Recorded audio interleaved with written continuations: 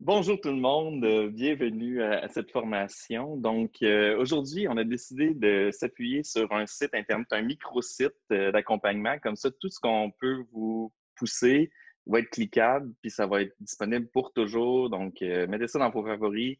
Ça peut vous intéresser d'y revenir cet été, cet automne. Et s'il y a des choses qu'on nous demande aussi, on pourra aller en rajouter puis le bonifier au fur et à mesure.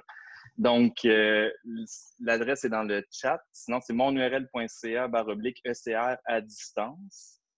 Et euh, on pousse l'adresse à l'instant, donc vous pouvez cliquer. Donc, je me présente, moi, c'est Alexandre Chenette. J'ai enseigné éthique euh, de son implantation jusqu'à l'année dernière. Maintenant, je suis au récit d'épée, l'intégration du numérique en éducation. Mais c'est un cours que j'adore, qu'on tripe. On est, on est des passionnés d'éthique et de CR, on est comme en famille c'est un bonbon aujourd'hui pour nous. Euh, puis euh, avec une option philo aussi euh, pour secondaire 4 et 5. Donc voilà. Et je suis accompagné de ma collègue Marjorie Paradis. Oui, donc Marjorie Paradis, conseillère pédagogique aussi dans la même équipe au Service national du développement de la personne. bon, je laisserai Annie le soin de se présenter, là, mais il y a également Benoît Petit qui fait partie de notre équipe. puis on ce grand service-là contient également les plus petits sous mandat euh, d'éducation à la sexualité. On a une collègue qui s'appelle Marie-Soleil Carole qui s'occupe de ça, puis également éducation physique avec Joël Boutillette. Euh, puis euh, également, j'étais enseignante d'éthique et culture religieuse puis d'univers social depuis une dizaine d'années dans la région de Québec au secondaire.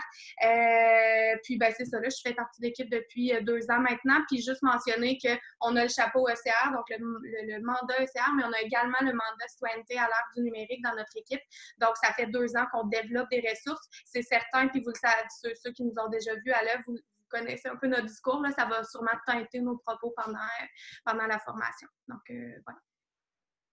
Bien, bonjour à tous. Euh, je m'appelle Annie Turbide. Euh, je suis aussi enseignante d'éthique depuis les débuts du programme, mais sinon, j'enseigne depuis plusieurs autres années avant, formée en morale et en histoire.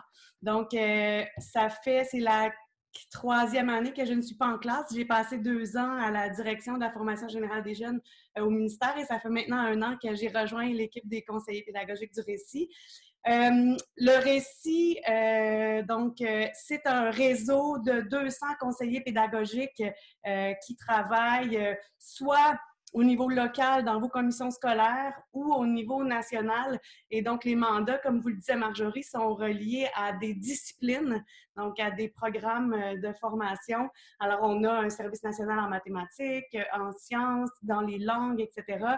Et donc, on, vous offre, ces, équipes vous offrent de la formation et de l'accompagnement euh, ben, euh, depuis plusieurs années, mais très intensément depuis le mois de mars.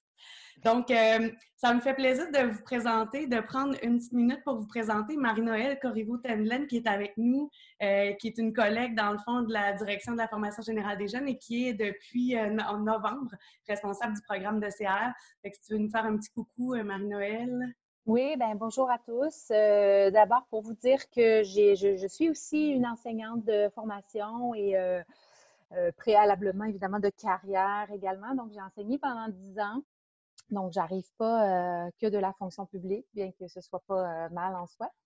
Euh, mais donc, j'ai enseigné pendant dix ans dans une école secondaire de la région de Québec, principalement en univers social. Je suis formée d'abord en histoire, mais aussi en éthique et culture religieuse. J'ai eu à enseigner au tout début le programme d'enseignement moral et religieux catholique avant qu'il ne meure de sa belle mort ou de sa moins belle mort, selon certains. Euh, j'ai aussi enseigné éthique et culture religieuse en quatrième secondaire.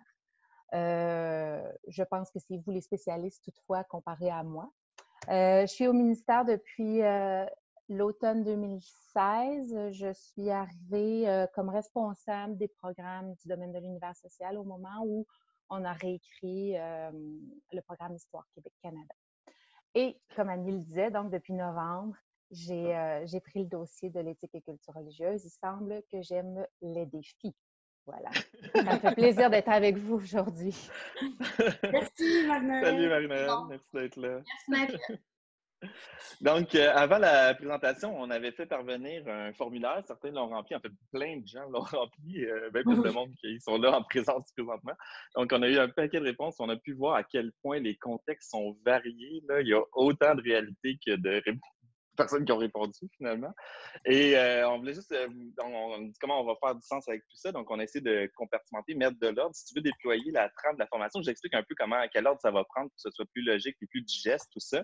On a séparé ça en différentes euh, sections. Puis ça va être plus facile après ça de continuer à alimenter dans une intention. Donc, au début, on va parler avec ajuster sa pratique. Tout ce que le nouveau contexte nous a obligé à faire, puis nous oblige à faire, puis va nous obliger à faire dans les prochains mois, c'est-à-dire de transformer, de s'ajuster inverser sa pédagogie. Donc là, euh, tout d'un coup, la classe inversée, là, qu'on n'a pas le temps de faire, elle devient comme vraiment, vraiment intéressante à ce moment-là. Morceler les activités d'apprentissage, on n'aura pas le choix de faire des petits morceaux. Donc, ça va être vraiment sur la construction de nos activités d'apprentissage en soi. Animer des rencontres, mais ben là, c'est comme on fait en ce moment. Comment on fait là, quand on a physiquement des élèves? Ben, physiquement, on n'a pas physiquement des élèves, mais virtuellement des élèves avec nous. C'est quoi les trucs? Questionner les élèves, donc comment après ça interroger, puis l'évaluation, puis la rétroaction et tout. Et euh, partager vos astuces, en fond, c'est rester à la fin, s'il vous plaît? Parce qu'on c'est comme notre 5 à 7. Après, on partage nos. Parce que vous, vous l'avez fait comme euh, certains disaient au, départ. Euh, vous n'avez pas eu le choix de vous lancer, puis de commencer, puis vous dépatouiller, puis essayer, puis faire des erreurs, puis des succès. Puis donc là, ce serait vraiment riche d'entendre vos commentaires, vos expériences à la toute fin, euh, après la présentation. Donc, rapidement, c'est le, le plan qu'on a pour aujourd'hui. Et euh, on voulait commencer euh, une petite intro de notre cher Normand Landry, qui est chercheur à la TELUC, puis il y a la chaire de recherche aussi en éducation médias du Canada. Puis on trouvait que son propos, son petit, ce petit extrait-là, là, ça mettait vraiment en bouche pour ce qui s'en vient. Mm. Puis juste avant, euh, Annie, que tu démarres euh, la vidéo, juste dire que c'est une entrevue qui a été réalisée il y a quand même, euh, ben, je dirais pas il y a longtemps, mais il y a presque un an. Fait que, tu sais, c'est pas une intervention qui était liée au contexte, mais on trouvait, on trouvait qu'elle était vraiment, finalement, la réécoutant, on était comme, mon Dieu, on était sur mesure pour ce qu'on vit actuellement. Donc, donc allons-y. Ben, juste avant, je me permets moi aussi, euh, tout au long de notre présentation, n'hésitez pas à participer dans le clavardage, euh, à poser vos questions, à donner vos rétroactions, euh, d'accord, pas d'accord, content, pas content, etc. on n'a pas beaucoup de, rétroactions non verbales hein, quand on est en, en visioconférence, fait qu'hésitez pas à utiliser le, comment on disait tantôt, converser, l'onglet converser. Converser avec nous. voilà je vais peut-être préciser aussi, euh, en, parlant du jouet pour la participation au sondage, ceux qui avaient des questions techniques comme comment j'invite mes élèves sur Teams ou des choses comme ça, ce ne sera pas euh, ici qu'on va pouvoir en une heure pouvoir adresser ce genre de, détails techniques-là. Donc là, je vous inviterai vraiment à contacter vos récits locaux. Euh, dans les ressources supplémentaires, vous allez voir, vous allez pouvoir trouver la personne à qui vous posez ce genre de questions-là. voilà. Donc, depuis les fondements de l'éducation média, il y a des, un certain nombre de paniques morales qui sont récurrentes sur les usages des jeunes des nouvelles technologies. Euh, on a eu pendant près de 30 ans des discours sur le fait que les écrans rendaient les jeunes apathiques, non politiques, désengagés, que c'était lié à la sédentarité, en fait, puis à des problèmes de socialisation, notamment à des violences, à des, enjeux associés à la violence, mais aussi à des comportements antisociaux. On a eu ensuite des paniques morales sur l'hypersexualisation des jeunes filles, sur la cyberintimidation, sur le lien causal entre la consommation de jeux vidéo et des actes violents qui peuvent être commis dans les espaces physiques on s'intéresse très, très peu dans ces discours-là sur ce que les jeunes font de beau, de créatif, de novateur avec ces technologies-là. Et c'est une dimension pourtant fondamentale de leur vie et que nous pouvons en fait contribuer à bonifier, à grandir, euh, pour peu qu'on leur donne les outils pour dans leur vie pour en faire des outils non pas de réception passive, mais des outils de création, de partage et de communication. ils sont d'ores et déjà designés, ces outils-là, pour nous permettre de le faire. Donc, on a devant nous des, opportunités qui sont absolument fabuleuses pour permettre plus que jamais dans l'histoire à nos jeunes de faire du beau, faire du contenu, créer, être, être innovateur, pouvoir collaborer également. Donc, le, numérique est vraiment euh, un outil qui nous permet euh, d'ouvrir des potentialités hein, pour le pire et pour le meilleur. On s'est concentré très longtemps sur le pire et on a oublié un peu de regarder ce qu'on peut faire pour nourrir le meilleur. Donc, pour moi, on a une occasion à saisir au Québec très, très, très claire de nourrir des aspects positifs et créatifs de ce que les jeunes font avec la technologie. Donc, on va commencer ça. Avec le c'est ça. C'est une occasion particulière. Donc voilà, si on veut partir, on va commencer avec le premier chapitre qui est ajusté. Euh, donc, oui, ajuster. Première chose à dire, on s'entend, essayez pas de téléporter la classe. Là. On, est d'accord, il n'y a rien de mieux que quand on avait nos élèves, puis la dynamique de classe, puis les voir évoluer, puis s'essayer, puis discuter, puis s'alimenter un l'autre, l'intelligence collective qui se développe, là, c'est clair, là, on était bien. C'était génial. Et euh, là, ça fait quelques mois maintenant. Je pense qu'il faut, faut faire un autre deuil un petit peu du contexte euh, traditionnel, puis se dire ça va être différent, mais qu'est-ce qu'il y a là-dedans peut être positif? Parce qu'il y a quand même des choses positives, évidemment, dans tout ce contexte. Il y a des choses qu'on peut aller chercher qui sont positives avec le nouveau, euh, nouveau contexte d'enseignement à distance. Donc, je, je, comprends tout à fait. Je n'ai pas signé pour ça. Là. ce ne sera pas pareil, mais allons voir qu'est-ce qui est possible de, faire. Donc, mon premier conseil après ça, ce serait vraiment d'être indulgent envers vous-même. OK? Parce que ça, déjà, vous avez fait l'expérience des derniers mois à, à s'accorder euh, un temps parce qu'il y a plein de monde qui n'avait jamais fait ça dans à distance. Puis là, on se retrouve comme euh, dans deux jours, euh, demain, va sur là, tout le monde connaît Team Zoom, puis on a des Google Meet, donc c'est ça, on a été pitchés dans l'eau. Mais on s'en reparlera dans cinq ans, c'est normal, ça prend du temps. Il y en a qui font ça depuis 20 ans puis qui apprennent encore, c'est progressé. Donc, probablement que vous allez être bien meilleur. Vous êtes déjà bien meilleur qu'il y a trois mois, probablement pour la plupart d'entre vous. Donc, soyez indulgents. C'est normal, qu'on apprend tout en même temps. Puis euh, on s'entraide, puis on s'alimente, puis ça va bien aller. Donc, prenez ces trucs-là, surtout les perfectionnistes là, qui font comme il faut que ce soit parfait du premier coup. C'est pas un contexte où ça peut être parfait du premier coup. C'était ça mon conseil. Je, l'aime, la joke. Madame, on écoute un film. Euh, donc, aller à l'essentiel. Hein? Euh, c'est sûr que tantôt, je pense que c'est toi, Marc, qui disait euh, j'enseigne cet après-midi, je reviens dans 20 minutes. Bien, souvent, on pensait qu'on n'avait pas beaucoup de temps avec nos élèves. Puis, on dirait que ça, ça, a changé, ça a juste changé le contexte parce qu'on n'a pas plus de temps, mais on n'a pas moins de temps non plus. Puis, on va le voir un petit peu plus loin. Bref, il y a quand même une nécessité de clarifier nos intentions pédagogiques et que toutes les actions que qu'on propose à nos élèves ou qu'on mène comme pédagogue euh, soient dans le sens de cette intention-là. Est-ce que c'est encore pertinent de faire cette amorce-là maintenant qu'on n'est plus en classe? Est-ce qu'il y a une autre activité qui remplirait peut-être plus mon intention? Bien, c'est toutes des questions qu'il faut adresser le plus régulièrement possible pour essayer de pas être parfait en un, mais y tendre.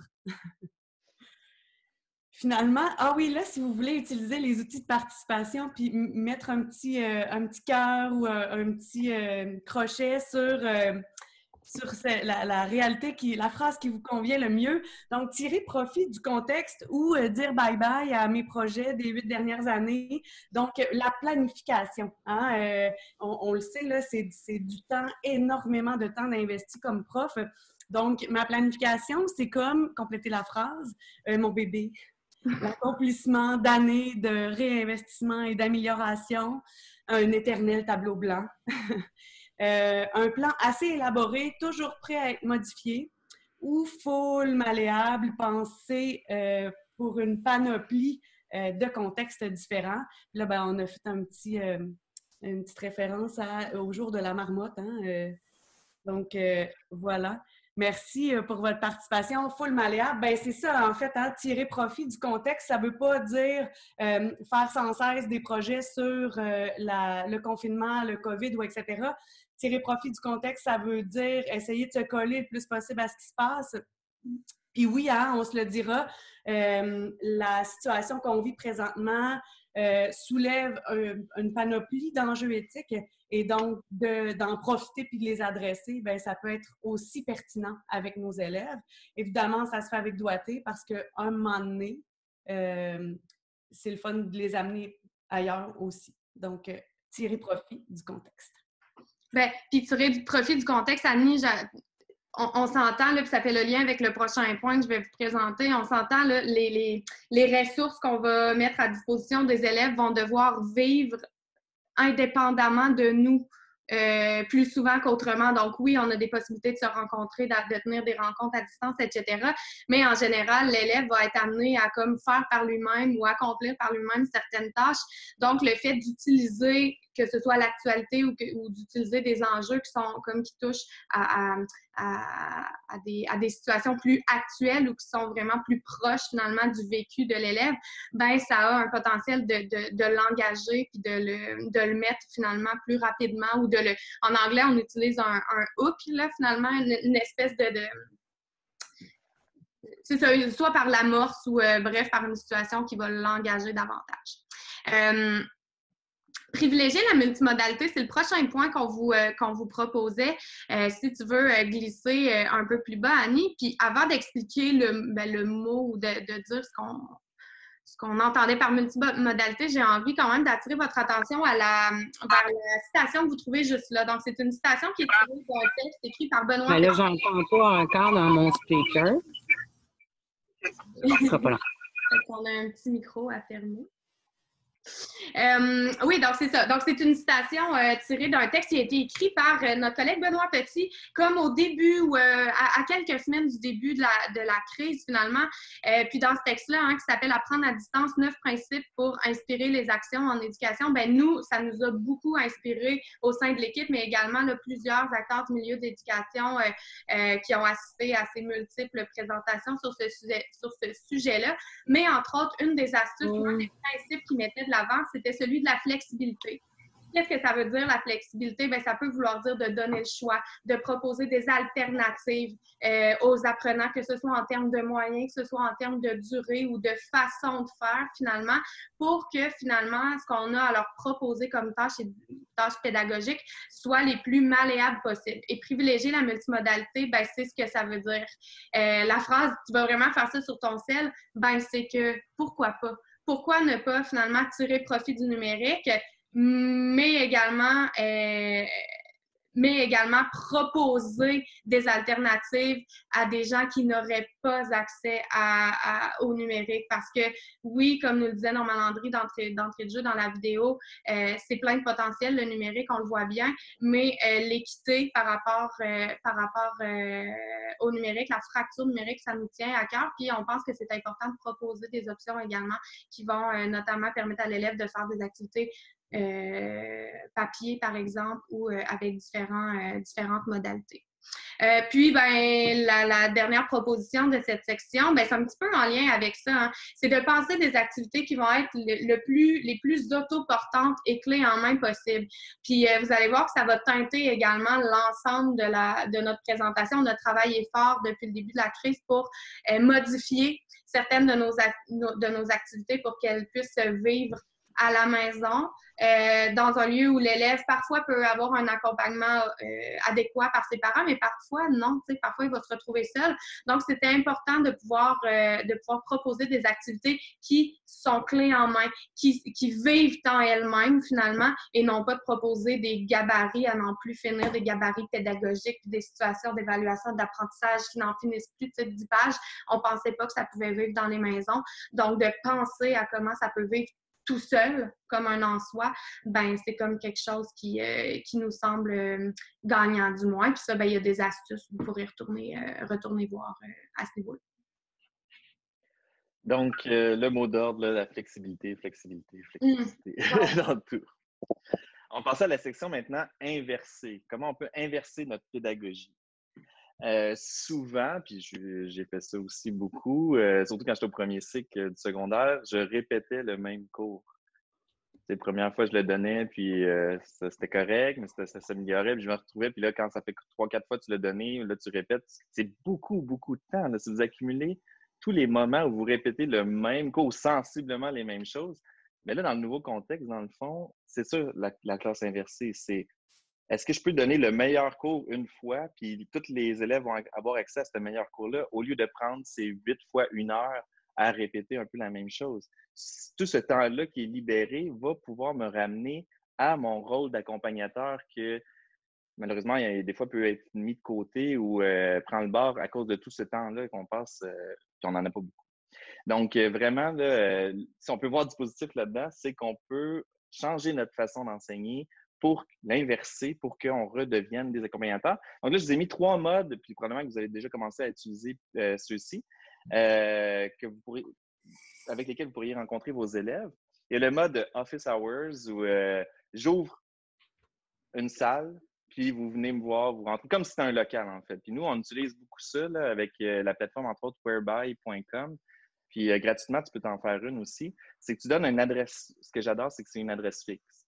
Là, on court après les liens Zoom tout le temps, puis c'est génial Zoom aussi. Mais l'intérêt, je trouve, de Whereby, c'est que c'est tout le temps whereby.com, barre oblique, ce que vous aurez choisi. Fait que vos élèves, ils savent, si vous donnez une horaire, un horaire, vous dites euh, tous les mercredis après-midi, je suis là de 1h à 2h, vous venez poser des questions. Vous pouvez donner des plages comme ça, puis les jeunes peuvent arriver, débarquer, puis poser la question. Et euh, c'est ça. Donc, c'est vraiment simple, simple, simple, simple, simple d'accès. Donc, pour côté euh, se rendre disponible, c'est une bonne option. Et évidemment, les rendez-vous ciblés. Donc, vous pouvez, ça pourrait être par Teams, ça pourrait être avec Google Classroom, ça dépend des réalités de tous les centres de services, euh, name it. Mais euh, vous pouvez envoyer des, demandes à un, élève puis être en personne. Moi, j'ai appelé ça, je vais enfin connaître votre nom, parce que quand je trouve premier cycle, y en a 300, 400, c'est comme, enfin, on va se parler pour de vrai, comme juste toi et moi. ça, ça, peut permettre ça. Donc, on se rend compte, puis je réponds à tes questions. Puis, pour vrai, c'est ça, l'effet prof, la relation avec l'élève, dans l'engagement, c'est clé. Fait qu'il faut pas faire comme, ah ben on tombe en virtuel, on perd ça. Non. Peut-être qu'on gagne ça, justement. En tout cas, dans mon cas, ce serait, le cas. Et euh, si on veut, on peut faire des discussions de classe, parce que c'est clair que c'est en éthique d'avoir l'énergie de la classe et tout. Mais moi, si je me vois faire, un, je me retrouve dans ce contexte-là, je ne vais pas essayer de donner la même matière en checkant le monde euh, s'ils m'écoutent, s'ils n'ont pas mis euh, un print screen à la place de leur photo, puis euh, commencent à écrire dans le chat ou faire de la gestion de classe virtuelle. C'est pas le temps de faire ça.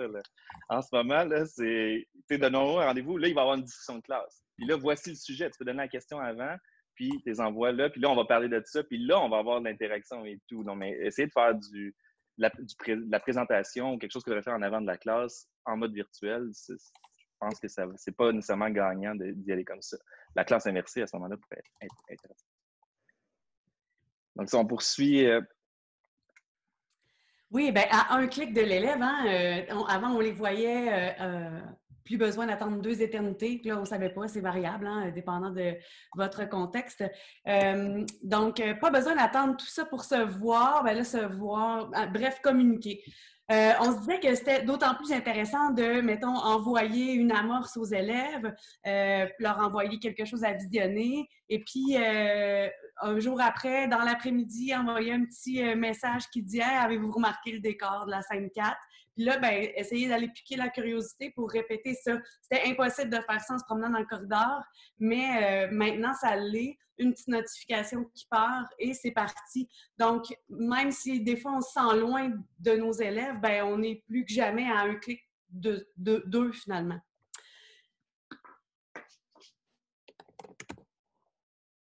Si on continue avec euh, commencer par des vidéos simples. Alex. Oui, euh, il y a tellement, vous avez vu arriver plein d'outils, euh, des listes d'outils à pu finir, puis on est noyé d'outils, puis on vit fou.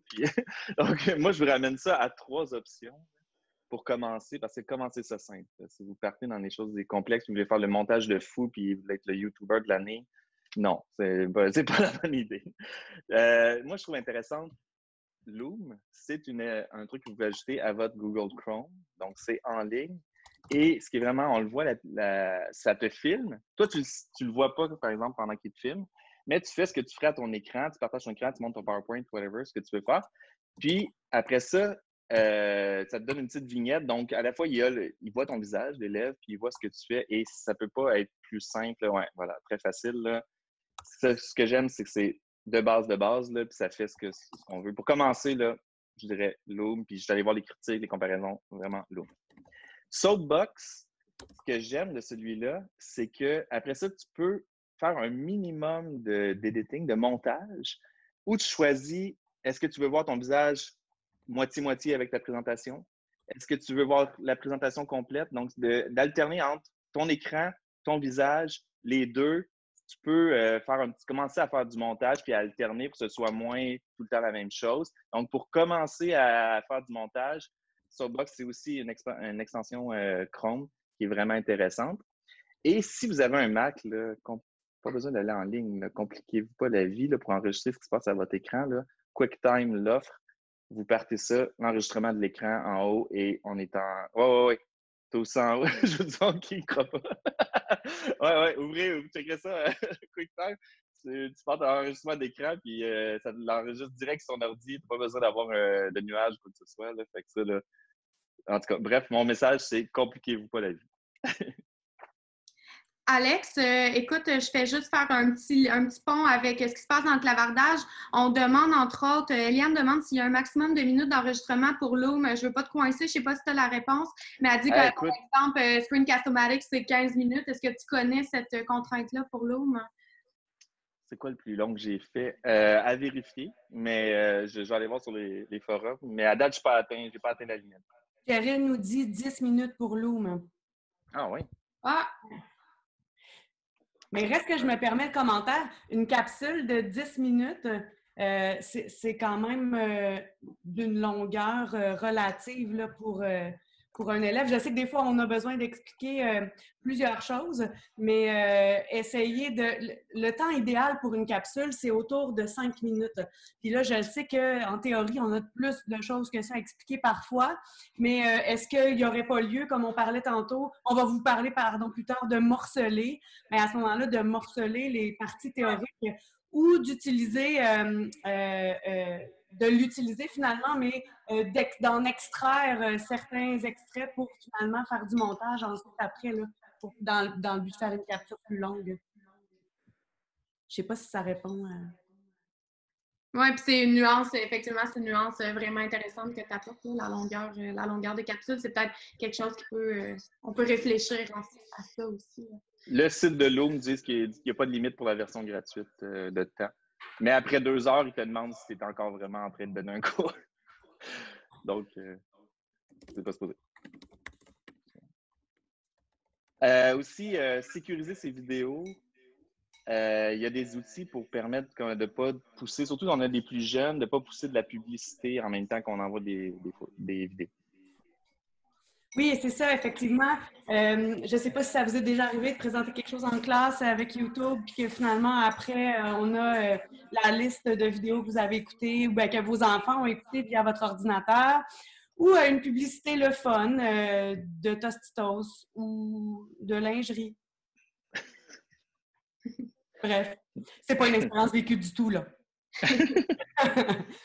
il y a moyen, finalement, puisqu'on ne sait pas ce qui va arriver hein, dans les ordinateurs des élèves euh, quand on leur envoie du YouTube, il y a moyen de sécuriser les vidéos. Donc, euh, vous avez simplement à copier-coller le lien de YouTube et d'aller sur le site qui s'appelle Safe YouTube.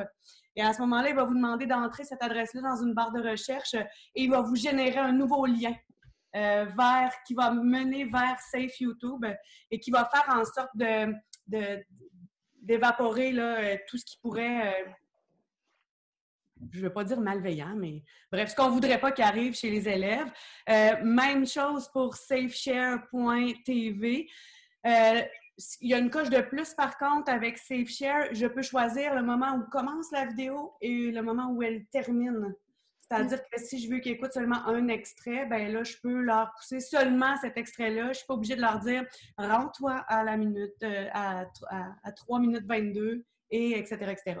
Bon, euh, comme plusieurs sites, il ne s'agit pas d'un complet gratuitiel, c'est-à-dire que vous allez avoir, euh, je pense que c'est trois ou cinq extraits gratuits, mais ça vaut quand même la peine si on l'utilise pour juste seulement certaines activités pédagogiques. Le dernier, c'est Playposit.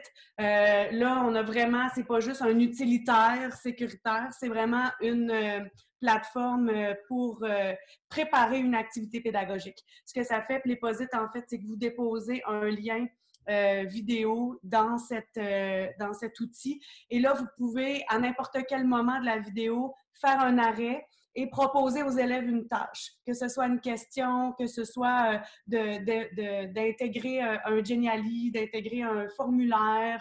Ça va les amener vers la tâche que vous voulez et vous pouvez sélectionner s'ils sont, euh, sont obligés de la faire ou si c'est facultatif. à ce moment-là, ils peuvent continuer la vidéo. Vous pouvez même pousser un lien. Tu sais, mettons, on écoute quelque chose, on le sait que c'est un petit peu, ça peut être compliqué pour certains, ben, la vidéo s'arrête, on propose un lien explicatif Et puis après, après ça, l'élève, il l'ouvre ou pas, puis ça continue. Donc, euh, voilà euh, différents outils. Là. Puis c'est ça, Playposit fait en sorte que les publicités euh, ne seront pas présentes. Donc, c'est un autre moyen là, pour sécuriser vos vidéos. Oui, en complément à ce que tu es en train de dire, Annie, dans le fond, dans la. Allez-y pas nécessairement voir parler, mais dans la une sous-page de questionner, vous avez un onglet vidéo interactif, puis vous avez justement, sur, euh, pas, sur papier, mais à l'écrit finalement, que les, les, petites euh, fonctionnalités dont Annie vient de vous parler. Euh, puis peut-être mentionner également que Playposit permet une forme de rétroaction, donc question-réponse, puis une forme de, de, de, rétroaction par rapport à, automatiser finalement qui aurait été préprogrammé. Donc ça permet ça permet ça. Et aussi, il y a moyen de conserver donc des traces, de garder des traces des, des réponses des élèves donc, vous pouvez créer, là, il y a une espèce de grille qui peut se générer avec les interventions et les réponses des élèves. ça peut, ça peut être intéressant à ce niveau-là. Puis, si jamais euh, vous commencez à être à l'aise à faire des vidéos, euh, vous avez vos repères, parce que dans toutes les forums, ils vont vous dire là, vos, souvent, mettons, tu prends une chaîne YouTube, tes 20 premières vidéos, ils sont pourris. C'est juste normal. Fait que si tu t'attends à la vidéo parfaite, ça n'arrivera pas. Il faut que tu te lances, faut que tu en fasses des pas bonnes. Désolé. Ils vont les élèves vont comprendre dans, le contexte, là, puis euh, c'est sûrement pas les pires. Puis, euh, donc, c'est un milliard, c'est un milliard, c'est un milliard. Donc là, passez à l'étape supérieure. Quand vous vous sentez prêt, là, là, vous pouvez commencer à augmenter vos affaires. Donc, commencez à mettre du montage vidéo. Vous parlez de quelque chose, vous gardez votre voix, c'est sûr, vous avez un Mac iMovie, c'est simple, ou un iPad, euh, c'est très, très, très, très simple. Euh, tu commences à garder ta voix, puis là, tu mets des extraits de ce que tu parles. Puis là, tu, visites. Donc, tu combines comme ça. Là, ça devient une vidéo plus intéressante déjà. Euh, créer son propre lightboard, pour ceux qui ont des enfants qui ont peut-être vu la classe de Marie-Ève, qui a écrit du néon, c'est quand même pas tant compliqué pour vrai. Là. Vous irez voir la vidéo plus tard. Là. plexiglas, un LED en dessous, puis c'est ça, plexi puis LED, puis ça, ça, se construit chez soi. Là. Euh, donc, c'est quelque chose que vous voulez ajouter à votre truc. Euh, le plexiglas c'est pas dispendieux, mais euh, quand tu le fais toi-même, c'est pas cher. S'équiper, ça aussi, ça peut être dispendieux parce que là, tu peux commencer à dire bon, OK, je veux une lampe, un éclairage, on voit pas très bien ma vidéo. Il y en a qui vont se mettre ça, des profs pour euh, peut-être il, y a toutes les, gammes de prix, là, mais un bon éclairage, euh, des bons écouteurs, un bon micro, euh, une bonne caméra, si vous voulez, la totale. Donc, vous pouvez commencer à, explorer, puis commencer à augmenter vos affaires. Mais c'est vraiment pas requis. Et aussi, peut-être commencer à regarder ça parce qu'il va y avoir les budgets aussi des écoles, qu'est-ce que vous avez besoin, commencer à faire, à demander des trucs à votre direction. ça peut devenir, ça peut rentrer dans les dépenses parfois, dans le contexte. Donc, ça, c'était pour inverser la classe. Maintenant, dans le fond, on va regarder les activités d'apprentissage qu'on veut morceler. Comment on fait ça, euh, morceler? Oui, comment on fait ça, morceler, puis qu'est-ce que qu'est-ce que ça veut dire aussi? Euh, parce que je reviens un peu à ce qu'on disait d'entrée de jeu. Imaginez-vous les gabarits pédagogiques et les situations d'apprentissage et d'évaluation hyper longues que parfois on a l'habitude de, monter ou de proposer ou de se partager entre pédagogues, ben imaginez-vous qu'on essaie de faire vivre ça dans les foyers dans les maisons, euh, qu'un élève se retrouve un peu tout seul devant ça. Donc, ça fonctionne pas, pas tellement ou pas, pas, euh, pas fondamentalement, surtout si on considère euh, la, citation que vous voyez en haut de la page euh, qui parle du sentiment d'efficacité personnelle. Donc, on dit qu'un des facteurs les plus déterminants sur l'apprentissage, euh, ben, parmi les facteurs finalement qui influencent, ben, en tête de ça, c'est le sentiment d'efficacité personnelle. Donc, en d'autres mots, est-ce que l'élève a l'impression euh, de pouvoir réussir? Est-ce qu'il est qu'il peut euh, être en mesure finalement d'augmenter sa confiance en lui par rapport à une tâche donnée? Est-ce que la tâche est à sa, finalement à sa portée? Donc, tout ça, ça va influencer son apprentissage, mais également son engagement et donc sa motivation. C'était euh, donc c'était primordial pour nous finalement que les activités qu'on allait créer et puis là ben je parle au nous parce qu'on l'a fait, mais évidemment, quand on parle au nous, ben, on, suppose ou on fait la, on émet l'hypothèse que vous allez passer ou que vous avez également passé par, euh, par ça, finalement, la création de la proposition d'activité à vos élèves. Donc, on s'est posé la question suivante. Comment est-ce qu'on peut prendre une activité qui est un peu lourde pour la maison et comment est-ce qu'on peut la rendre digeste? Et par digeste, ben, on voulait dire digérable. Je ne sais pas si c'est un mot qui existe, mais bref. Comment tu dis, Annie? Ah, je, me permettrais peut-être de dire, digeste, là, ça a un peu émergé de, du fait que oui, euh, euh, l'entremise de l'enseignant est nécessaire, mais comme ça fait partie de, de, nos réflexes, hein, de, faire en sorte que les élèves comprennent un contenu, euh, de, vulgariser une tâche, etc. Donc, rendre digeste, c'est essayer de, lui donner une couche, la couche enseignante, pour que l'enseignant, étant moins présent, c'est ça, pour que l'élève réussisse malgré le fait que l'enseignant était moins présent. Oui, c'est ça, exactement. Puis donc, euh, donc c'est ça. Alors, ce qu'on vous présente là, dans cette page-là, en gros, c'est comme des petites astuces ou des trucs, euh, des, des, choses à garder ou à conserver, euh, avoir en tête quand vient le temps finalement, soit de remanier une activité qui existe déjà ou encore de créer à partir de rien une activité qui n'existe pas encore, mais vous voulez vous lancer. Donc, c'est les astuces qu'on a à vous proposer. Vous reconnaîtrez la métaphore alimentaire dans ces, dans ces astuces-là. Lesquelles, donc la première, c'est la suivante, c'est euh, de garder en tête une intention claire et que cette intention-là peut être finalement accomplie à travers plusieurs petites bouchées. Puis, euh, puis ça, c'est quelque chose qu'on a expérimenté. On a, on a vraiment aimé travailler finalement de cette, de cette façon-là en petites bouchées. Nous, on travaillait en défi. Donc, on propose, là, chacune de nos activités qui sont déposées sur ECR euh, à la maison sont faites à peu près sur le, sous, le même, euh, sous la même forme finalement. Donc, on propose des défis clairs, simples, concis, à l'élève. Euh, puis souvent, on, on leur en propose maximum cinq là, dans une activité, puis c'est très rare. Souvent, ça va être plus trois ou quatre défis. Euh, vous pourriez parler en termes de mission ou, euh, ou, ou, en termes de granule. Hein. C'est drôle, nous, c'est un mot granule qui, tranquillement pas vite, a pris de la place dans notre jargon, même si c'est un mot qui n'est pas tellement beau, mais c'est parlant. C'est comme de dire qu'on va finalement, on a un tout, on a une activité, mais elle peut être déconstruite finalement en différentes, en différentes, en différentes portions, en différentes bouchées. Donc, votre activité peut-elle être divisée en plusieurs granules? Euh, euh, puis, ben, c'est ça, finalement, pour augmenter le sentiment d'efficacité chez l'élève. Puis, est-ce que l'élève sait clairement ce qu'il a à faire? Est-ce que, euh, est-ce que l'élève qui a des difficultés d'apprentissage, par exemple, va y trouver son compte? Est-ce qu'il va réussir euh, à accomplir puis à bien comprendre ce qu'il a à faire?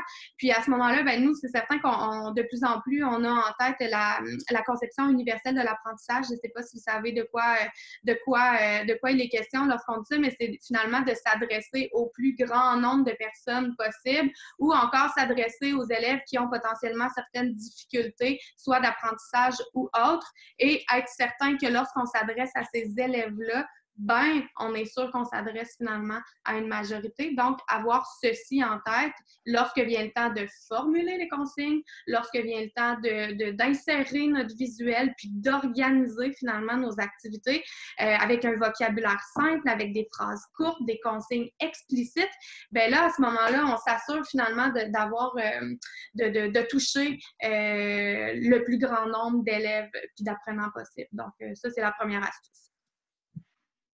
Euh, ça fait quelques fois dans le clavardage qu'on nous demande comment obtenir ce document. ben, je veux juste le rappeler. Dans le fond, c'est un site web qu'on vous présente. Euh, il est disponible à l'adresse qu'on a mis dans le clavardage, mais je vais vous la dire puisqu'elle est simple. monurl.ca barre oblique ECR à distance, en un mot, pas d'accent.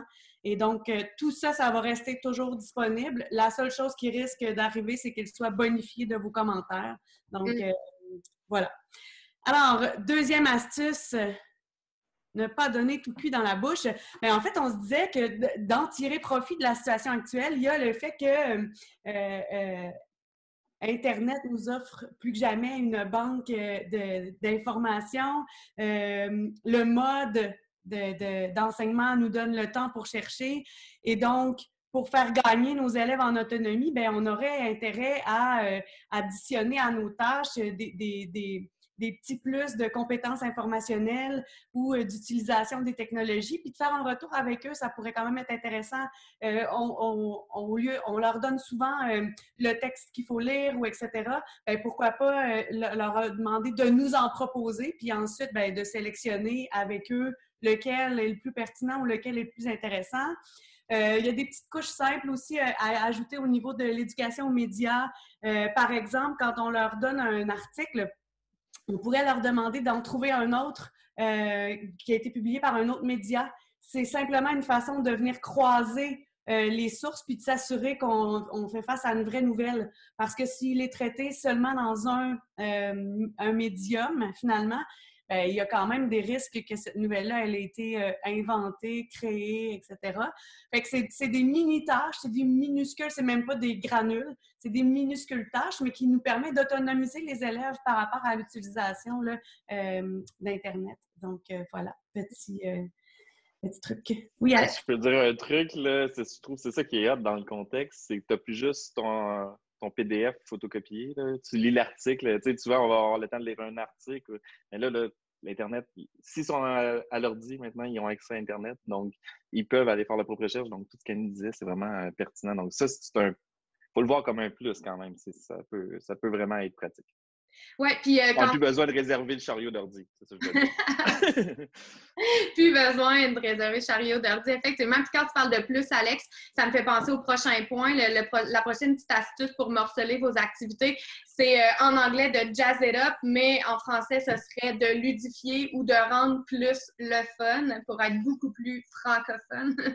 Donc, euh, d'utiliser différents outils euh, différentes manières de faire pour rendre vos activités attrayantes. ça a l'air simple et évident de le dire comme ça, mais euh, quand on commence finalement à explorer différents outils, j'ai Genially en tête, on va vous en reparler un petit peu plus tard, quand on commence à intégrer de l'interactivité dans nos activités, euh, lorsqu'on lorsqu'on s'appuie sur la multimodalité, donc on fait cohabiter différents, différents genres de manières de questionner les élèves, donc on fait cohabiter, je sais pas moi, un formulaire, un document collaboratif, une vidéo interactive, ben tout ça, là, ça peut très bien cohabiter dans la même activité. Puis effectivement, le contexte actuel, il est un peu, il, est, lourd, il nous apporte beaucoup de contraintes, mais il peut également nous apporter des, euh, belles voies pour créer puis pour rendre nos activités euh, plus, euh, comment dire, plus engageante. Puis là, attention, hein, qu'on se comprenne bien, c'est pas parce qu'on utilise un outil numérique que la motivation de l'élève va suivre avec. Euh, c'est, on, se, on se tue à le dire là, dans la plupart de nos formations c'est pas, c'est pas un lien, c'est pas ce lien-là qui est naturel. Ce qui est naturel, c'est la tâche, si elle est ancrée dans une intention pédagogique qui est engageante, ben, l'élève sera engagé. Sauf que, par contre, les outils, euh, les, les, différents outils numériques, ben, ça peut venir aider à mieux servir une intention pédagogique. Donc, euh, tirer profit, euh, puis, puis vous avez le temps hein, aussi. Euh, dans le fond, une, une, des premières astuces serait d'explorer ce qu'on connaît déjà ou d'utiliser ce qu'on connaît déjà comme outil technologique, mais si on a un petit peu de temps, puis qu'on a un petit peu de, on, a un genre de, de, temps tampon d'ici la rentrée scolaire prochaine, ben c'est peut-être le temps de venir explorer des nouveautés aussi pour ajouter des outils dans notre, dans notre boîte à outils. Donc voilà.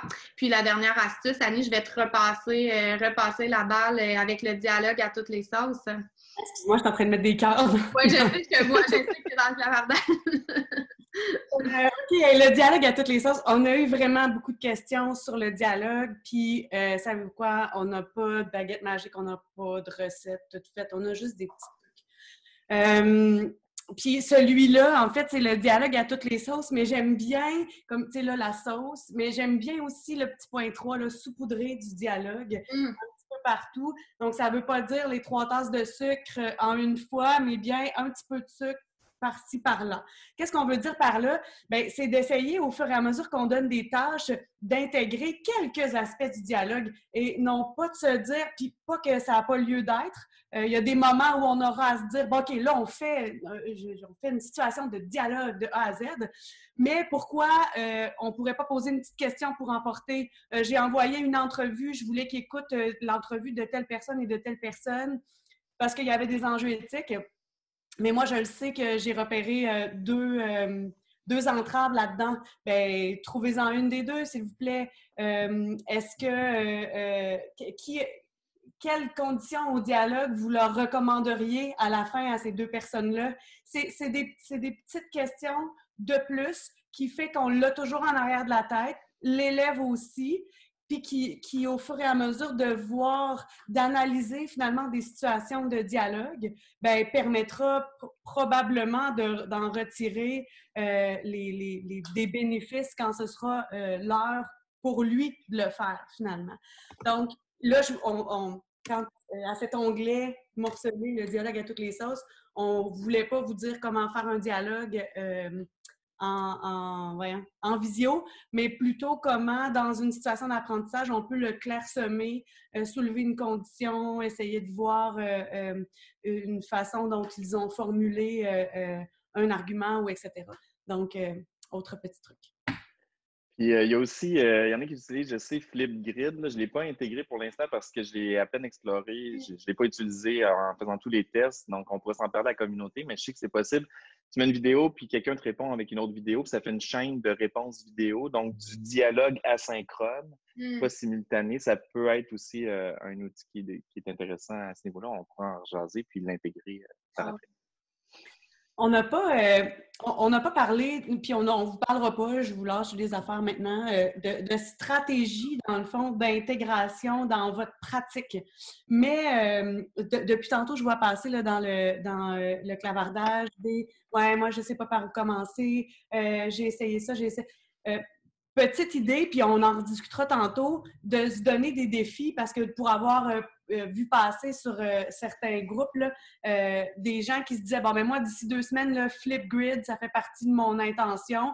J'enseigne normal, je fais mes choses comme elles sont prêtes, mais je me donne un défi, puis je me donne un temps pour le réaliser sur une chose. Bien, ça peut être une manière de s'approprier doucement parce que même nous, euh, on est conseiller pédagogique, on travaille dans l'introduction du numérique. Il y a bien trop d'applications qui existent dans le monde. Depuis tantôt, vous avez nommé Flipgrid, Edpuzzle, H5P, Genially. Moi, je, si je, ne connais pas, je regarde ça, je suis comme overwhelmed direct, puis je me dis, ouais, ça sera pas pour moi finalement. Mais non, euh, prenez-en une, puis commençons par ça. Alex, c'est dire by the way. Euh, c'est ça. Fait comme une chose à la fois, puis euh, c'est ça. Puis je dirais même, pour rajouter encore à ce que tu dis, en prendre une et, et presser le citron. Comme aller tirer le maximum de ce que cette chose, donc qui peut être un outil, peu importe, euh, peut offrir dans le fond, de par ses, ses différentes fonctionnalités, de par euh, comment vous pouvez le rendre disponible à vos élèves, les, façons dont vous le partagez. Presser le citron puis essayer de voir, de, tu sais, souvent on utilise le think outside the box, là, penser en dehors de la boîte pour voir tout ce que ça peut offrir comme comme, euh, comme potentialité auquel peut-être qu'on n'a même pas pensé finalement. Là. Donc, commencer par ça, c'est déjà un méchant bon début. Parce qu'on peut perdre beaucoup de temps à butiner, là. Surtout quand euh, tout, le monde, tout le monde nous donne des buffets, là. Ça peut être très, très décourageant, là. Donc, allez sur Genially. L'outil que vous voulez. Je travaille pas pour Genially, c'est juste qu'il est tellement convivial. Puis si j'étais quelqu'un qui, qui est pas bon avec les technos, là, je voudrais quelque chose d'aussi facile pour débuter. Là. Donc, euh, effectivement, presser le citron. voilà. Donc, c'était morcelé. Euh, on espère que ça aide. On s'en va euh, sur l'animation, Annie? Comment ça va le temps? Ça, fait, il est 2h20, là, on, comme, on, l'échappe, mais au moins, on a un peu de temps supplémentaire. On peut, on peut déborder sur le 2h30. Bon, alors, euh, l'animation maintenant, ben, on est proprement en visio. D'emblée, je vous dis que dans les, dans les euh, ressources supplémentaires, vous avez accès à une formation qui s'appelle euh, Astuces pour euh, animer une vision réussie. Donc, c'est une heure d'astuces juste là-dessus. Là, vous en avez un condensé qui commence maintenant. Donc, avant de commencer, accueillir, accueillir les élèves, prendre le temps. là, c'est sûr que pas mal toute la littérature privilégie des petits groupes pour des petits temps. Donc, mieux vaut un 20 minutes à 20 qu'une heure à 30, 50, 100. Je le sais que les contextes sont différents pour tous. Euh, vous allez avoir à réfléchir à une organisation scolaire dépendant des modalités qui vont être présentées pour l'automne. Mais ça peut faire partie des réflexions. Un groupe de 30, ça, quand on, a une heure et quart par semaine, bien ça, on peut le diviser on peut le faire comme ça. Donc, réfléchir à votre contexte, mais Sachez que euh, cette section animée s'adresse le plus possible à un groupe, grosso modo, scolaire. Euh, donc, avant de commencer, laissez un temps. Puis là, c'est pas moi qui le dis, c'est Caitlin Tucker. Si vous voulez aller voir la stratégie conçue pour accroître l'engagement des étudiants dans les discussions en ligne synchrone à l'aide de la visioconférence, de la vidéoconférence. Donc, elle donne sept recommandations euh, vraiment intéressantes. Et la première, c'est avant de commencer, d'y aller dans l'informel, même si c'est seulement 20 minutes, une demi-heure qu'on a avec les élèves. Euh, on le sait, hein, quand on les place en équipe, euh, en classe, on leur dit OK, allez vous placer en équipe, voici la tâche commencée, qu'est-ce qui se passe? Ils prennent tous leur travail et immédiatement, ils se mettent à la tâche. Ben non, c'est pas ça qui se passe. Ils prennent deux minutes pour jaser, ils s'assoient, etc. Et donc, euh, l'astuce pédagogique de leur accorder ce temps-là, en sorte que quand on va leur demander de se mettre à la tâche, il y a plus de chances que ça se passe. Euh, elle disait aussi que ça permettait, dans un contexte de distanciation comme celui dans lequel on est, ça permet de combler certains besoins au niveau sociaux, donc euh, de leur laisser le temps de se parler ou de poser une question plus informelle au départ. Euh, qui se passera pas pendant que je vais être en train d'enseigner ou pendant la tâche. Parce que si je ne laisse pas le temps, bien, probablement que mon clavardage ne servira peut-être pas seulement au dialogue éthique, mais bien à d'autres formes de dialogue. Donc, avant de commencer. Deux, ben, une amorce engageante. Oui, ben c'est ça. Je, je vais rappeler que dans ce mode-là, asynchrone ou en présence, en fait, euh, synchrone, à moins que vos directeurs vous obligent à faire votre une heure et mais il n'y a plus de cloche. Là. Fait que, faites pas des 15 minutes de remplissage en fin. Là, gardez ça court puis efficace, puis dites euh, allez où vous voulez aller.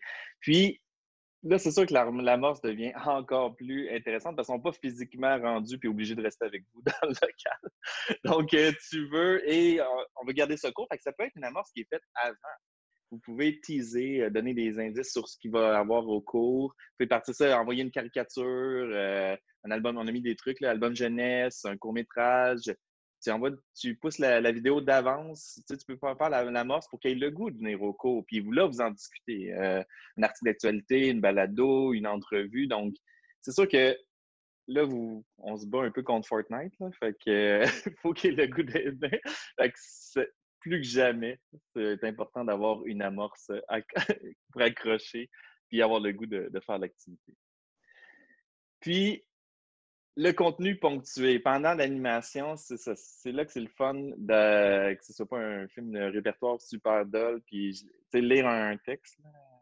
J'ai vu ça, mais un cours, c'est plate en, en, présence, c'est plate en ligne aussi. Euh, donc, on va vouloir moduler, changer, puis euh, sans, tout en évitant la surcharge cognitive. On ne veut pas comme des flashs partout, puis tout, ça change tout le temps, puis de la musique, puis il y a du monde qui le font trop viser le, comme dans tout, il euh, faut viser le juste milieu et essayer que ce soit dynamique, entraînant, modulé, modifié, euh, alterné. On a mis un, graphique comme ça. Ça peut être des discussions, des recherches, des vidéos, présentations, lectures. Vous jouez comme vous voulez, comme vous le sentez, selon vos groupes aussi. Ce sera, si euh, vous rencontrez les groupes comme ça, vous savez que ce ne sera pas la même dynamique. Là, on peut jouer là-dedans. Donc, voilà. Mais assurez-vous, par exemple, d'avoir des, des, attentes claires. Parce que si vous avez des petits moments, des courts moments où vous êtes avec les élèves, on ne veut pas les, les perdre. Ça peut être un, danger. Donc, ni un film endormant, si on fait l'analogie, ni non plus un suspense où ils ne savent pas qu'est-ce qui va arriver après et sont, sont tout perdus. Puis pour les anxieux, ça peut être euh, problématique. Donc, quelque part entre les deux comme ça. Donc, quand même d'être conscientisé, euh, vous pouvez l'essayer puis voir qu'est-ce qui a marché, qu'est-ce qui a moins bien marché, puis corriger. Voilà. Euh, j'aimerais ça juste euh, mettre en lumière, Alex, la, responsabilité partagée, parce qu'en fait, on se sent euh, comme enseignant responsable de toute la, section animation, mais rien n'empêche de partager cette responsabilité-là avec les élèves. Donc, on disait faire des recherches. Ça ne veut pas dire de, faire des recherches en présence, en visio, mais de les envoyer remplir un cours défi. OK, trouvez-moi un article sur telle affaire, on met ça dans le clavardage, je vous laisse deux minutes. OK, c'est bon, c'est parti Là, ils vont revenir, là, on regarde ça ensemble. Ça, c'est ponctué. Ce sont euh, des exemples de ponctués où, moi, en tant qu'enseignante, j'ai pas fait tout le travail. Je suis pas un petit canard qui pédale dans le fond, mais qui a l'air bien calme en haut. Euh, on partage cette responsabilité-là. Et les élèves ben, peuvent, euh, sans assurer une structure nécessairement en lien avec le contenu, ben, peuvent assurer une, certains bouts de la tâche, finalement. Et ce qui va les mettre à qui, ce qui va faire en sorte qu'ils vont être occupés, en fait, pendant la visio et non pas passifs. Donc, voilà. Puis partager aussi des fois avec un collègue. Si on fait moins de, visio qu'on donne de cours, on peut inviter un collègue à venir alimenter, stimuler le chat, le clavardage ou la, converser avec les élèves. Puis, euh, c'est moins stressant parce que souvent, euh, le réflexe du prof, on est habitué de tout gérer dans notre classe, puis on veut tout faire, puis là, en numérique, on veut tout gérer. mais non, non, effectivement, si les élèves en prennent une partie, on, ça peut nous déstresser, puis euh, nous aider beaucoup, beaucoup, puis les valoriser. Donc, euh, c'est ça, des interactions régulières en visio, plus on va euh, demander aux élèves d'interagir. Oui, le co-enseignement, exactement, c'est ça qu'on, c'est de ça qu'on parlait, Cheryl, on va y revenir tantôt plus on va demander aux élèves d'interagir, plus ils vont être engagés finalement dans euh, la visioconférence. Et là, ben, vous voyez, ça, c'est un exemple de Geniali vraiment simple, mais quand même. Donc, trois types d'interactions qu'on peut avoir avec les élèves, soit de niveau plus réactif, donc d'émettre une réaction, de la collaboration et de la participation. Donc, si vous cliquez sur le plus, ici, vous allez voir des exemples. Alors, euh, je vous demanderai d'emblée de vous dire, euh, de, de, de me dire en utilisant un emoji, s'il vous plaît. Et là, si vous ne vous savez pas comment faire ça, vous allez sur le site getemoji.com. Getemoji.com, on va mettre ça dans le, clavardage. Et là, vous avez accès à tous les emojis de la Terre. Euh, vous, en copiez-collez un. Et euh, ma question est comment, euh, vous, comment vous voyez ça, une visioconférence? Quand, quand, vous savez que vous avez une visio le matin, de quoi vous avez l'air? Euh, avant votre visio? Est-ce que vous êtes euh, là? J'ai hâte de voir. Fait que je vous laisse aller dans le clavardage en attendant. Donc, ça, c'est une manière de réagir. Euh, je peux demander aux élèves de réagir dans le clavardage. Marjorie. je peux demander aussi le nom. Là, là c'était beaucoup avec les plus jeunes, mais je parle même du primaire, mais avec le nom verbal. Bon, tous ceux qui, ceux qui ont fait leur devoir, s'il vous plaît, mettez-vous profil c'est des affaires euh, qui ont presque l'air du terrain de jeu, mais euh, qui peuvent permettre aux élèves de faire quelque chose puis de dire, ben voyons donc, qu'est-ce qui est en train de se passer, de les surprendre finalement, puis de les mettre à profit. Donc, évidemment, pour ça, c'est la caméra ouverte. J'aime ça, bravo! Ah. c'est vraiment le fun de voir. Moi, c'est tellement une astuce que je trouve brillante, là, en fait. L'emoji. Passion. On aime presque pas ça. Il n'y en a pas beaucoup dans notre site. Euh, ensuite, bon, des, interactions du type collaboratif. Donc, évidemment, les documents collaboratifs peuvent être mis à profit, que ce soit dans la suite Office ou dans la suite euh, Google Éducation. Euh, nous, on vous en propose un qui qui est un Google, là c'est avec Google par contre, mais c'est un Google Slide et vous allez voir qu'il y a une panoplie de diapositives avec des canvas ouverts. Donc, euh, là, vous pouvez demander aux élèves de, vous, de prendre une bulle dans ce canevas-là et de la remplir, ce qui fait en sorte qu'on voit un peu les commentaires de tout le monde. Ça peut être un mur partagé du type Padlet, comme vous allez voir dans la dernière activité, ou un tableau blanc. Tantôt, on vous a demandé de, de, réagir directement dans la présentation. Euh, ben, Zoom offre l'option tableau blanc, fait que j'aurais pu mettre simplement un écran blanc, puis là, tout le monde écrit là-dedans. Donc, euh, autre type d'interaction. Finalement, de la participation, ben, euh, on va vous en parler aussi encore un petit peu plus loin. Ça peut être un outil de sondage, ça peut être euh, de formulaire en ligne. Et là, c'est la deuxième fois que je vous demande d'ouvrir votre caméra, euh, que, je, que, je, vous propose une solution qui ouvre la caméra. Parce que plusieurs nous disent, mais tu sais, les élèves, ils n'osent pas ouvrir leur caméra. Puis, puis, je veux dire, je comprends. C'est pas Puis euh, si euh, j'avais 14 ans, peut-être que je serais gênée moi aussi. Mais euh, ben, c'est ça, il y a l'option parler pour vrai, là, interagir, mettons, avec notre voix. Ça, ça reste une option. Et puis les formulaires en ligne. concernant interagir avec notre voix, tantôt, je vais vous présenter des astuces plus macro, je veux dire. Sauf que s'organiser avec le gars des vues, prendre le temps d'en appeler un ou deux, ou une ou deux d'abord, avant, euh, eux aussi ont des têtes de confinement, oui, c'est ça, vraiment. Euh, c'est ça, d'organiser ça avec le gars des vues, d'en appeler un ou deux pour dire, euh, ben en appeler, je fais le signe de téléphone parce que je suis née en 78, mais donc pour lui dire, hey, je vais vous poser cette question-là quand on va se voir, s'il te plaît, est-ce que tu, serais-tu à l'aise d'ouvrir la caméra puis de répondre en premier, de briser la glace? Et une fois que la glace est brisée, on le sait, ben des fois ça donne envie aux autres de répondre, puis là, ben c'est de l'émulation positive. Donc, qui sait, peut-être que ça fonctionnera pour vous. Vous, vous, vous le filmerez, vous nous l'enverrez. Finalement, ben, le visuel, hein? Euh, un visuel parlant, épuré le plus possible. Puis là, c'est sûr qu'on ne prêche pas par l'exemple, on s'excuse. Euh, donc, euh, ou comment prêcher par l'exemple, ça, c'est pour le bout légal. Parce que, bien évidemment, on, voudrait promouvoir hein, des, pratiques, des bonnes pratiques en lien avec euh, le contenu qui est disponible sur Internet. Donc, un visuel, euh, c'est important, tout le monde sait ça, mais pourquoi donc? Bien, ça contribue à éviter la surcharge cognitive. Euh, ça maintient l'attention sur le messager et non pas sur le message, mais là, c'est sûr que vous regardez toutes les gifs, mais c'est correct, je vis avec ça. Un contre-exemple.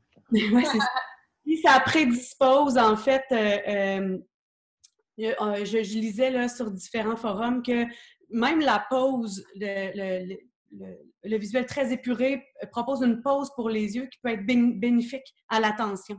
Donc, ne pas hésiter euh, à enlever le plus de choses possible. Votre visuel puis votre document d'accompagnement au niveau théorique peuvent être deux choses différentes.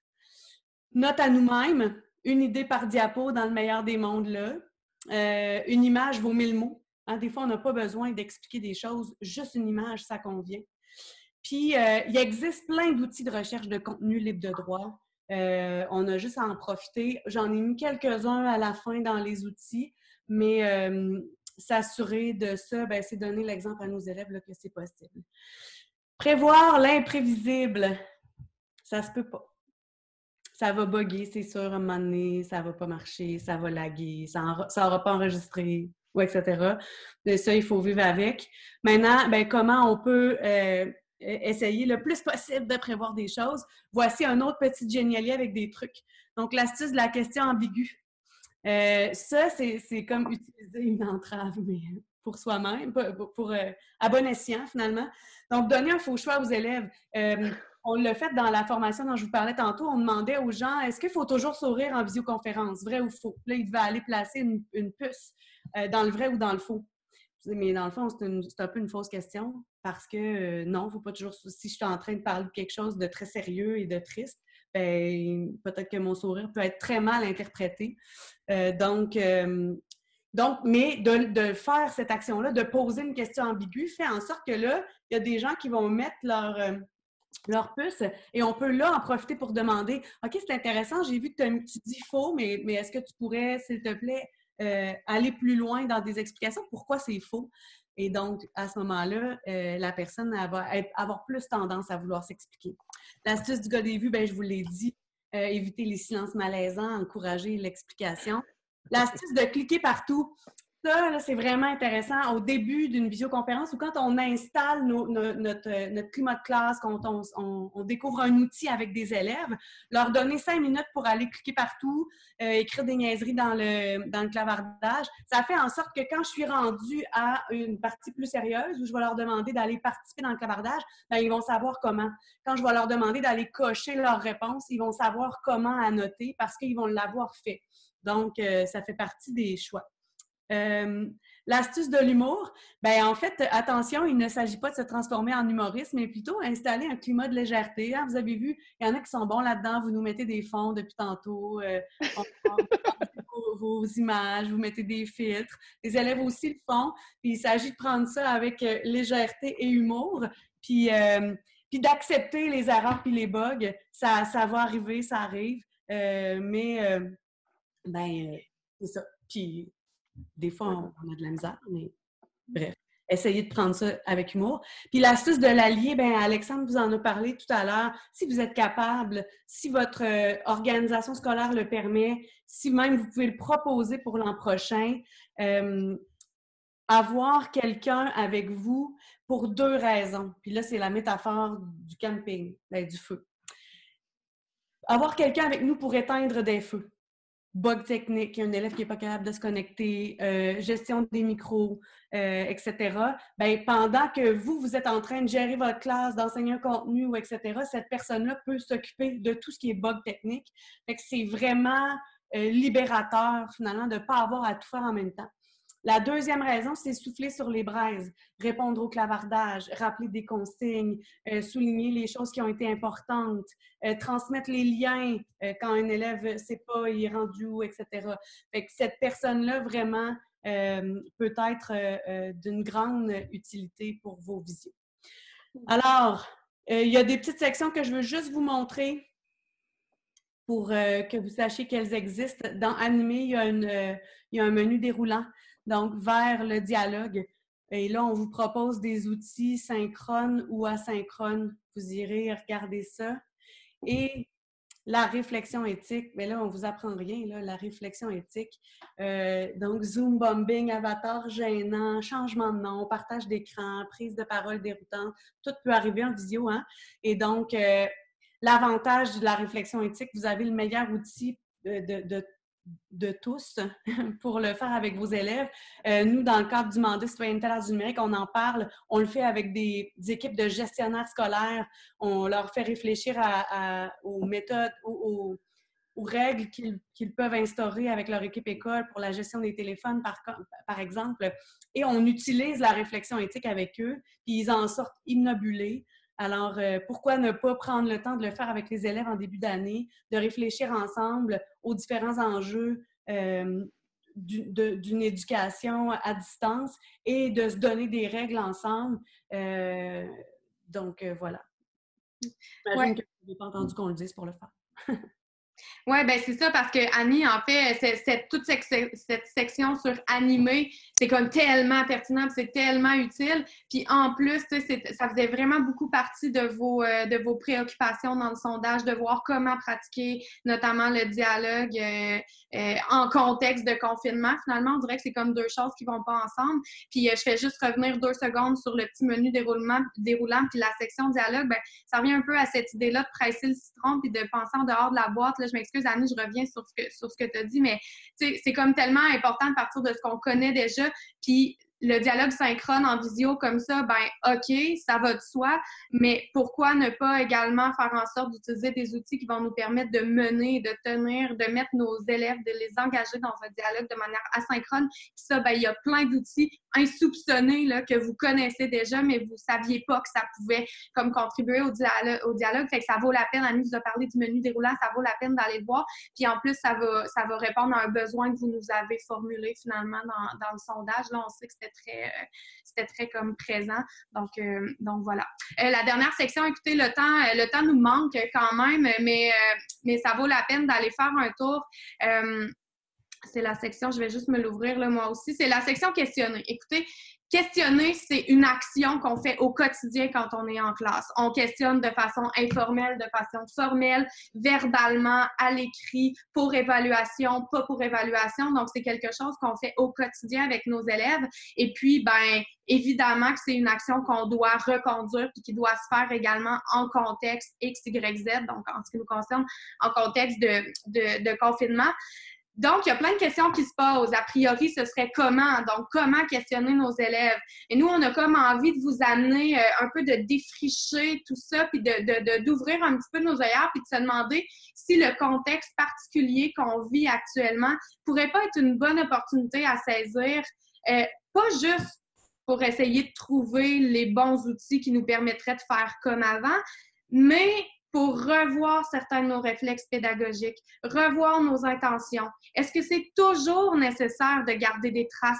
Est-ce que c'est toujours nécessaire d'évaluer à qui les, traces servent réellement? OK? Donc, tout ça, c'est des questions qui peuvent nous amener à porter un regard sur notre, notre façon d'enseigner, mais également sur notre, le, comment dire, les stratégies qu'on va mettre en place finalement dans le contexte actuel. Euh, puis pour ça, ben, c'est de manière un peu imagé, zéro scientifique, OK? C'est pas, euh, ça ne porte pas la science à feu, cet arbre décisionnel que vous retrouvez dans la section questionner. Euh, c'est interactif, là, vous pouvez le, parcourir. Euh, mais c'est surtout comme une genre de, voyez ça comme une métaphore de ce qui pourrait se passer dans votre dans votre cerveau ou ce qui pourrait se passer en amont quand vient le temps de créer une activité ou d'adapter une activité, vous questionnez sur les traces. Est-ce que je dois nécessairement conserver des traces? Bon, est-ce que je dois nécessairement évaluer? Est-ce que la rétroaction est possible dans telle ou telle situation finalement? Puis, ben, selon les réponses à ces questions-là, puis encore là, il n'y a pas de n'y a pas de bonne ou de mauvaise stratégie. Il y a juste des réponses auxquelles vous allez répondre. il y a juste des questions auxquelles vous allez répondre à la lumière de vos intentions pédagogiques, on s'entend. Mais selon les choix que vous allez faire, bien, ça va comme naturellement vous orienter vers l'une ou l'autre ou l'un ou l'autre des outils finalement qu'on vous propose. Euh, en bas de cette page-là, euh, vous voyez, il y a comme une petite palette de cinq outils. On vous en a à peu près toutes. Tu sais, on a déjà parlé pas mal, Annie, Alex, vous avez parlé déjà de vidéos interactives, de formulaires, euh, de documents en ligne également, euh, de Geniali. Donc, on n'ira pas nécessairement dans la technicalité de la chose, mais j'attire votre attention au paragraphe qui est inscrit à gauche de ce visuel-là. juste pour vous dire que ce qu'on vous propose là, elles ont toutes en commun, ou ils ont tous en commun ces outils-là d'avoir de, de, des, des, avantages notoires. Et puis, ça répondait à certaines de nos préoccupations qui nous ont personnellement, là, qui, qui, qui étaient présents à chaque fois qu'on qu'on cherchait euh, un outil ou qu'on cherchait finalement une stratégie à déployer. Donc, on voulait à chaque fois que ces outils-là soient gratuits ou que, du moins, la version gratuite donne quand même des options intéressantes. Euh, on voulait que ces outils-là puissent euh, préserver les données personnelles de nos élèves. On sait que dans les écoles, c'est pas tout le même contexte, mais pour nous, c'était majeur. on voulait que ce soit facilement, aisément partageable par différentes voies, notamment ceux qui utilisent Teams, ceux qui, qui utilisent Google Classroom. On voulait que ce soit euh, convivial. Euh, on, voulait également, mais comme je pense c'est Annie qui en a parlé tout à l'heure, on voulait éviter que les élèves soient, euh, exposés à de la publicité. puis, bien évidemment, il y a toujours cette, je dans le clavardage, ouais, nous on utilise Teams, ouais, nous on utilise la suite Google, ben on le sait, c'est pas, c'est à, géométrie variable selon les commissions scolaires. Donc, on voulait que ce qu'on a à vous proposer puisse vivre dans les deux univers, les univers Office et Google. Donc, c'est la raison pour laquelle finalement on, on vous propose ces cinq outils-là ces cinq outils-là qui euh, sont quand même vraiment versatiles, en fait. Euh, puis comme je vous le disais, ben, je pense que c'est pas le moment nécessairement d'aller voir les technicalités, sauf que si vous ouvrez le menu déroulant, finalement, euh, qui est dans l'onglet en haut, Annie, je sais pas, si peut-être que tu peux juste dérouler pour le montrer que tout est accessible finalement, bien, vous pouvez aller sur l'une ou l'autre page pour voir comment ça peut se vivre, euh, notamment euh, dans la section formulaire en ligne. Euh, je vous ai préparé un bac à sable tout simplement, donc allez-y, vous pouvez vous pouvez vous-même l'ouvrir pour insérer des questions, peu importe lesquelles. C'est vraiment pas grave, c'est juste de voir comment ça peut fonctionner, les fonctionnalités. donc, gênez-vous pas. puis sinon, bien, dans l'onglet Geniali, également, vous en avez beaucoup parlé. Hein, je pense que ça a titillé votre curiosité Annie, je t'inviterais peut-être à y aller. Vous allez pouvoir euh, euh, voir et expérimenter, dans le fond, quatre, euh, quatre fonctionnalités quand même assez intéressantes qu'on a découvert assez récemment, puis qui étaient nouvelles de toute façon dans Geniali, qui sont les outils dessinés, glisser également. puis en bas, tu en as d'autres aussi. Tu as, des outils de quiz, vous avez des gabarits déjà, déjà préparés que vous pouvez réutiliser. Puis tout ça, bien évidemment, c'est, ça laisse pas de traces en tant que tel, donc il faut que ça suive votre intention pédagogique, mais ça peut être des outils franchement euh, intéressants à intégrer finalement à vos, euh, à vos activités pour venir euh, jazzer tout ça. Donc, vous, vous, pourrez retourner, là, dans le fond, vous irez lire ça à tête reposée, mais on pensait que ce serait intéressant de vous les déposer pour que vous y, que vous y ayez accès. Alors, sur, le site, ils ont plein d'options aussi. Tu peux faire des jeux d'évasion, des jeux de société. Euh, moi, je fais des jeux vidéo avec ça. Euh, mm-hmm. une fois que tu comprends comment ça marche, c'est vraiment hot. Puis euh, aussi, en bas, ce qu'ils disent, c'est que ça peut être embeddé. Tu peux te le, le, script, fait que tu peux le mettre dans ton Google Site. Tu copies, colles dans le fond ton activité, puis elle va vivre dans ton site Google, dans ton, mm. Wix, dans tous les univers que vous pouvez imaginer. Dans le fond, c'est des en soi, ces activités-là. Ils sont facilement partageables et peuvent être vivre dans votre CS Moodle, ben, vous l'intégrez, fait que ça, ça jazz le truc. Oui, tout à fait. Puis, tu sais, ça peut avoir l'air compliqué de dire, ouais, de l'intégration, un code embedded. etc. Mais c'est c'est pas plus compliqué que de faire un copier-coller. Puis l'avantage que ça a, hein, c'est de garder notre élève dans le même environnement, éviter qu'il aille, qu'il à ouvrir un autre onglet, etc., puis qu'il aille se perdre. Donc, c'est vraiment, tout est là, tout est à portée de doigt, finalement, et à portée de main. Donc, euh, ça a cet avantage d'être euh, d'être euh, convivial, vraiment, à la fois pour les créer, mais à la fois pour l'élève, ça amène une petite, une petite touche. Donc, vous irez, vous irez voir ça. Puis, ben là, de toute façon, on s'en va, mine de rien, vers la communauté de partage, comme genre maintenant. là, ouais, c'est ça. Là, juste cliquer ressources supplémentaires puis dire qu'il y a, il y a plein d'affaires. Là. Ressources supplémentaires, là, je pense qu'on peut skipper le, le parcours. Là. Il y a mm-hmm. vraiment plein de stocks là, euh, dans cette section-là. Parce que là, c'est ça, il était 45. Donc, euh, pour aller plus loin, dans le fond, vous avez peut-être plein de ressources de droit, puis des, formations, toutes sortes de trucs pour approfondir, des, des auto-formations aussi sur la classe inversée, etc. etc. Euh, mais là, c'est ça. Donc, euh, merci beaucoup. Il y a un lien pour le formulaire de rétroaction sur la, formation, mais surtout, maintenant, levez la main, ouvrez vos micros, jason, échange, c'est parti pour euh, la discussion de groupe. Parce que déjà, euh, quand il y a des choses, on a déjà une intelligence collective, on s'alimente, on se répond entre nous. Donc, on peut y aller maintenant, même, vous pouvez ouvrir vos micros, poser votre main, ce que vous voulez, lever la main. Oui, c'est ça. Puis, tu sais, l'intention de cette activité-là, on voulait absolument, on tenait absolument à, se garder du temps pour cette communauté de partage-là qu'on amorce actuellement avec le Padlet, finalement, que vous voyez, vous avez sous les yeux, puis qui est dans le site, évidemment. Donc, euh, ça peut prendre la, forme d'interrogation que vous avez. Ben, L'exemple qui, a été déposé là, c'était une question toute simple, euh, mais ça peut être également de partager vos bons coups. Euh, on veut savoir, tu sais, nous, là, on vient de vous partager certaines astuces à la lumière de ce qu'on fait depuis l'an passé, mais depuis plus précisément le début de la, le début de la crise, mais il y a tellement de choses qui se vivent dans vos milieux, dans vos, euh, dans vos contextes également, qui ont pensé que ce serait bénéfique finalement pour tout le monde euh, s'ils pouvaient en bénéficier. Alors, euh, c'est le moment d'inscrire tout simplement en cliquant sur le petit plus. vous pouvez ajouter de vos bons coups, de vos astuces, les outils que vous privilégiez, ce qui a vraiment bien marché. si vous vous êtes planté, ben c'est correct aussi. On va construire là-dessus. Donc, on veut finalement partager toutes ces expertises. -là.